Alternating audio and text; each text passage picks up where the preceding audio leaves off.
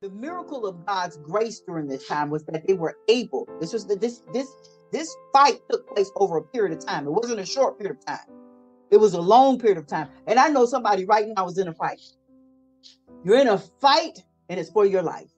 And it seems to have taken a long time. Uh, you're not seeing instantaneous results. And yet you continue to hold on to the word of God. I came to remind you that through prayer and through fasting, through meditating on the word of God day and night, renewing and restoring and inspiring hope in yourself and light as well, because the word of God tells us that the entrance of God's word gives light. So as you continue to meditate on the word of God, that word is entering and transforming um, the, the, the vibrational resonance within you to harmonize with light, literally uh, emitting a, a, a type of photosynthesis that would release light, that would create an, an environment within you for restoration, for health, for wholeness, for recovery.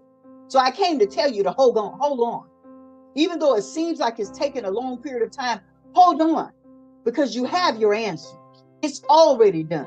He was wounded for your transgressions. He was bruised for your iniquities. The chastisement of your peace was upon him, and with his stripes you are healed. Hold on. You might be in a legal battle that's taken a long period of time. I came to tell you, he ever lives to make intercession in your behalf. He's your advocate. I came to remind you that as you're doing everything that you can here on earth, reach up and look up for your redemption draweth nigh. Because just as you're working here in the earth as best you can, he's moving in your behalf in the heaven. You have but to hold on. And the way that you hold on is that you continue to meditate on the word of God eating the word of God, ingesting it as your natural food. And as it goes in, it emits light, light that goes to work for you. And during this time frame, we have a grace of light.